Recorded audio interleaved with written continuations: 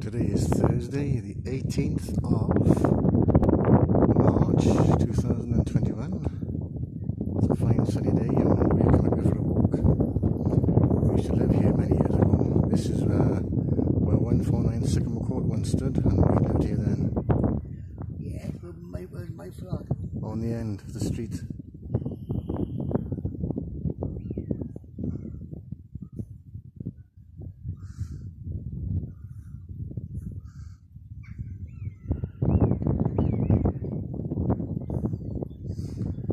That's where Dyer used to live over there. And uh, old Arthur Carslick.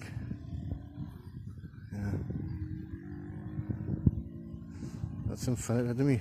Thursday. Where, where was my flag then? On the end over there, 160. 60 hours. That's it over there, it was. Right then. Let's go for a walk over here, is it? So I'm gone. Of course, it was all changed now. Different people here all together. It was a different world back then. Hmm. 40 years ago when we were first here. Aye. And the old park over there now is a, a gym over there now.